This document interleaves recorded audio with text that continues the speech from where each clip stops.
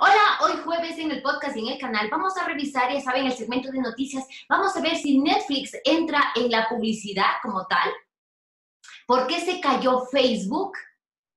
Y un emprendimiento sobre el envase a una bebida del penco. Así que si quieres escucharlo más, te invito a que lo escuches y que lo veas hasta el final. Acompaña.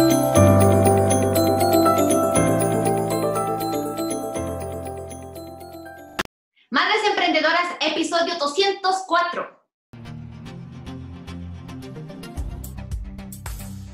Hola, hola, ¿qué tal nuevamente? Bienvenidas al podcast, al programa de Madres Emprendedoras, el podcast en el que hablamos sobre el mundo del emprendimiento, ese apasionante marketing, las imprescindibles ventas para emprender y claro, cómo organizarse entre ser una madre feliz y una emprendedora exitosa a través de noticias, conocimientos, experiencias y bueno, todo lo que ustedes necesiten desde el punto de vista de mujer, claro está. Así que a todas bienvenidas.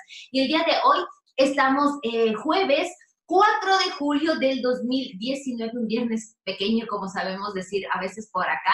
Hoy estamos en el segmento de noticias y traemos noticias espectaculares de, actualidad, de emprendimiento. Ya saben que siempre hablamos sobre estos temas que nos apasionan. Y claro, pero no sin antes dedicar el podcast a todas aquellas personas que alguna vez han tomado una bebida en base a el penco. ¿Por qué? Porque el emprendimiento que hoy vamos a hablar es de dos emprendedores ecuatorianos que han hecho bebidas a través de ello. Así que bueno, he hecho la, eh, la dedicatoria. Claramente tengo que invitarles, ¿por qué? Porque eh, la academia de cateman.com está cada vez con más cursos, con más clases. Hoy seguimos en la clase número 9 del curso de diseñar tu campaña de email marketing y vamos a integrar ahora con nuestra tienda online para ver todas las novedades que pasan en nuestra tienda, la podemos conectar a nuestro newsletter. Así que está sumamente interesante echarle un vistazo y recordar que estamos todavía con el 50% de descuento, es decir, con una membresía de 5 eh, dólares mensuales sin ataduras, puedes salirte cuando tú quieras, vas a poder acceder a todos, a todos los cursos mientras estés eh, suscrito a la academia. Así que echarle realmente un vistazo. Eh, recordar que también estamos preparando el Meetup, el quinto Meetup eh, de emprendedores en el mundo digital. Eh, pueden, por favor, votar por los temas que quieran em, que se trate el próximo Meetup en cateman.com slash evento. Así que, bueno, ahora sí vamos a entrar con las noticias. Como les decía, esta noticia que nos trae la revista líderes.es habla sobre el penco, la esencia de sus bebidas. Y aquí los pencos que crecen en zonas áridas del país y que a veces pasan inadvertidos son el ingrediente estrella en agave spirit. Esta empresa se usa, eh, que la usa néctares de flores y fibras para elaborar una variedad de bebidas, destilados, conservas, alimentos y artesanías. Estos productos son el resultado de eh, serias investigaciones y pruebas que se han realizado por Diego Mora, gerente de Agave Spirit. Desde hace más de 15 años, él se interesó en esta planta silvestre tras conocer que su uso eh, estaba, se estaba perdiendo en zonas como la mitad del mundo, aquí en Quito, Ecuador. Así que para intentar mantener esta tradición de extraer el, shawarmishki, que se llama, que es la savia del penco, Mora decidió en el 2014 eh, darle un valor agregado a esa materia prima. Para esto creó Agave Spirit. Inicialmente invirtió 200 dólares. Con este líquido dulce tiene un tono blanquecino y las flores de agave aprendió a elaborar una serie de eh, preparados. Actualmente ofrece shawarmishki pre-pasteurizado, jugos saborizados, miel, vinagre, eh, misque, que es una bebida alcohólica, misquesa, que es cerveza, eh, flores de penco con, eh, en conservas y helados. Estos alimentos tienen propiedades nutritivas, probióticas e incluso medicinales. Celia Flores, quien consume este producto, asegura que el shawarmishki le permitió recuperarse tras una enfermedad en los huesos. No podía caminar, dice ella, pero tras em, consumir esta bebida me siento muchísimo mejor. Israel García, cliente, comenta que por las propiedades nutricionales de las bebidas, compra estos productos semanalmente. Estos aportan a mi salud, eh, saben bien y son de calidad. En este proceso de elaboración, de estas bebidas y alimentos se emplean solo ingredientes naturales para mantener la esencia de esta planta nativa que crece sin necesidad de la intervención de la mano del hombre. La materia prima se adquiere de a cuatro familias que producen en la mitad del mundo eh, eh, y la provincia del Cotopaxi. Cada semana recibe 400 litros en esto se invierte alrededor de 600 dólares. Ellos reciben un precio justo por la savia del penco que se entrega de manera periódica, precisa Agave Spirit. Cristian Tito, productor, comenta que vende desde hace tres años alrededor de 100 litros de shawarmishki. En promedio, por cada litro recibe 80 centavos. En esta materia prima se realizan las preparaciones en la planta de producción ubicada en la ciudadela eh, del señor, el Señor del Árbol, ubicada en el norte de Quito. En total, en este sitio trabajan 30 personas entre colaboradores directos e indirectos. La comercialización se realiza en Quito y Guayaquil en tiendas eh, de productos orgánicos, en ferias de emprendimientos. El precio de los jugos oscila entre 2 y 3 dólares, mientras que los destilados cuestan entre 20 y 35 y es eh, el que es, reposado en barriles de roble. ¿Qué tal? Qué interesante, ¿no? En este año la meta de Agave Spirit es explotar, exportar, perdón, el Mishki. Estamos en conversaciones con los Estados Unidos para vender nuestros destilados de penco, refiere Mora. Si bien las bebidas alcohólicas de agave spirit se elaboran con agave como se hace el tequila, en México, su preparación, sostiene Mora, se, es distinta, es por esto que su sabor es diferente. Esto permitió que esta pequeña empresa ecuatoriana participe como ponente en marzo, en el marzo pasado, en el Simposio Internacional del Ágave en México aparte de la fábrica de bebidas y alimentos, esta empresa elabora artesanías y promueve cultura alrededor del penco. En la Casa del Ágave, ubicada en la mitad del mundo, este sitio que está a un costado de la planta las personas eh, lo, pueden conocer más sobre estas propiedades y el uso del agave previo una reservación. El ingreso cuesta 5 dólares. El recorrido se inicia en un mirador en donde se aprecian varias especies del penco e incluso en este espacio los turistas pueden experimentar las propiedades de las raíces del agave.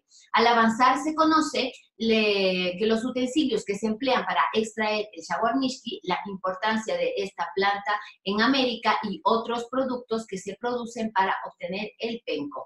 Entre estos instrumentos musicales, por ejemplo, están los tambores, las, las alpargatas hechas con fibra de cabuya, correas y elementos de la arquitectura hechos con el chaguarquero, la flor del penco.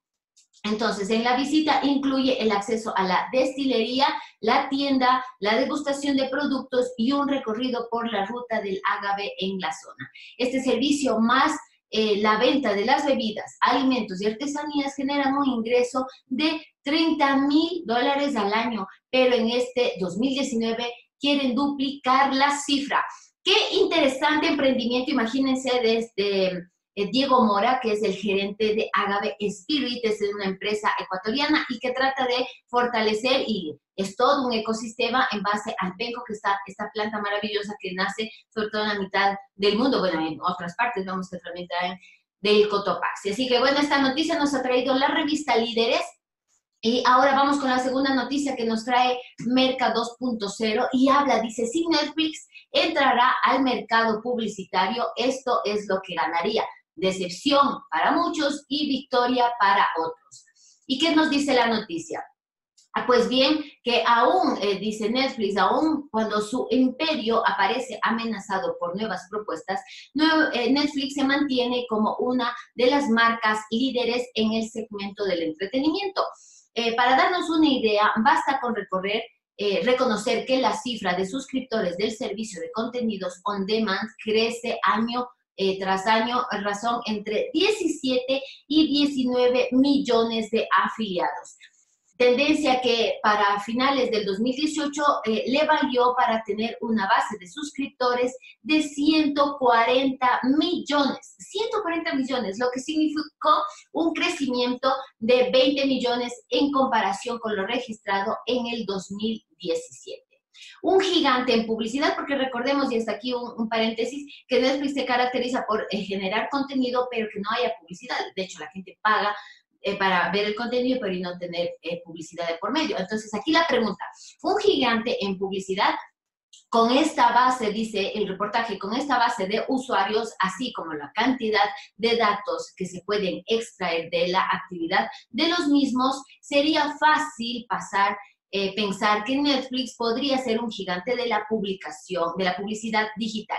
La propuesta sin duda sería atractiva, eh, grupos segmentados con intereses, niveles y capacidades para generar engagement.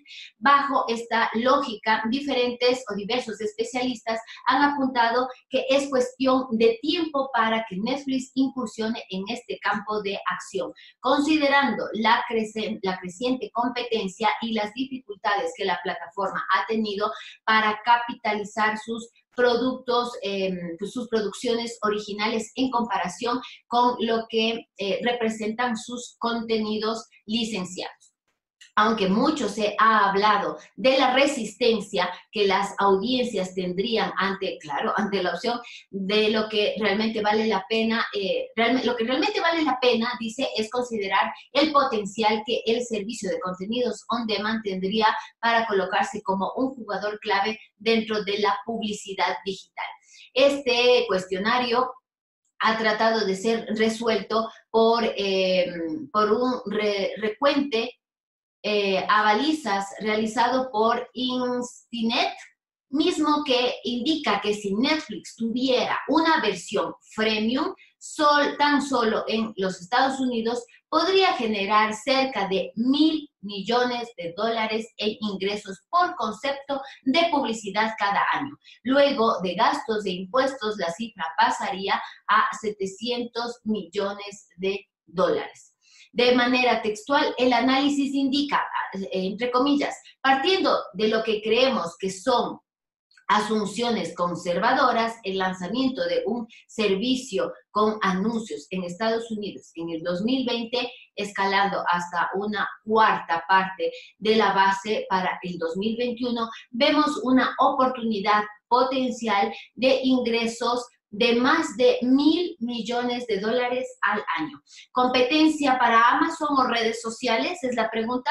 La realidad es que esta cifra queda lejos de los 38 mil millones de dólares que se espera que Amazon ingrese por publicidad a nivel mundial para los próximos cinco años. No obstante, esta es una cifra que eh, que eh, una cifra regional, queda cerca de los 3 mil millones de dólares con los twitters que con los que Twitter cerró el último año fiscal. En otras palabras, es posible que Netflix tenga grandes oportunidades de competir por un buen pedazo del pastel publicitario. Sin embargo, lo que queda en duda es que, qué tan benéfico sería para el valor agregado que ha potencializado por el año al servicio. Entonces, recordemos que Netflix ha, ha convertido la audiencia la ausencia de publicidad en su plataforma en uno de los de sus grandes valores y uno de los elementos que emplea de forma recurrente para posicionarse frente a los consumidores.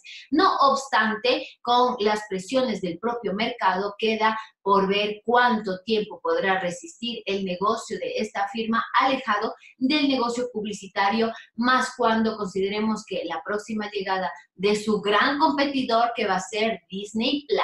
Así que es interesante noticia y ver cómo estos gigantes... Em, y aquí está el valor agregado que da Netflix. Seguramente eh, se pone en cuestionamiento si va a o no a resistir esa tentación de em, ingresar publicidad, pero en cambio es un valor agregado que da a sus usuarios. Veremos qué pasa en el futuro y sobre todo, como dice al final, va a entrar un gran competidor ya a finales de este año que es Disney Plus.